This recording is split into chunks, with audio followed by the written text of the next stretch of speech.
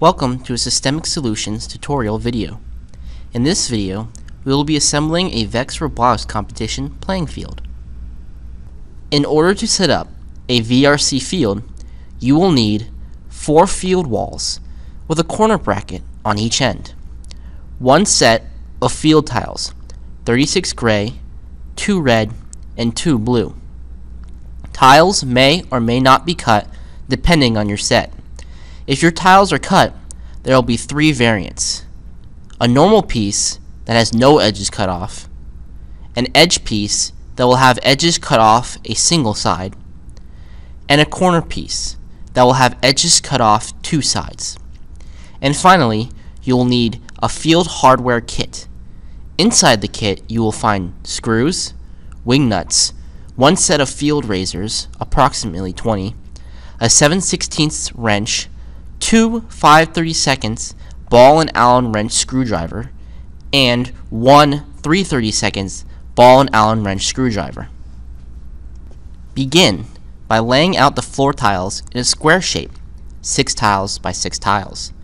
Ensure that the red and blue tiles are placed properly for the current VRC game. In this case, we place the colored tiles in their correct spot for the game Starstruck. Check the game manual or field setting guide if you don't know the correct color tile placement. Arrange the field walls around the field tiles so that each corner has one corner bracket. No two ends with corner brackets should meet. In addition, check that the flat plexiglass side of the walls face inward, towards the field tiles. Once that is done, we can begin attaching the walls to each other. Mate the ends of two walls together. As before, one should have a corner bracket, the other should not. Take two screws and two wing nuts and attach the walls together. Make sure that the wing nut faces towards the inside of the bracket as shown. Do this for all four sides. Take the field risers and attach them to the bottom of the walls, like so. This will allow us to place the field onto the tiles, a necessary step if your tiles are not cut. Once secure, check that the field lines up correctly with the tiles. There should be no gaps between the walls and the tiles, and no humps in the field tiles.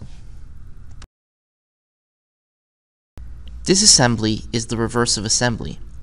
Take off the field risers, unscrew the walls, and pack up the tiles. However, be sure not to disassemble the walls into separate panels. They should be stored as four long pieces. Also be sure that each wall has a corner bracket when taken down.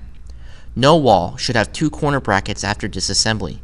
Be sure to stow all field hardware appropriately. For more helpful video tutorials just like this one, be sure to look for Systemic Solutions.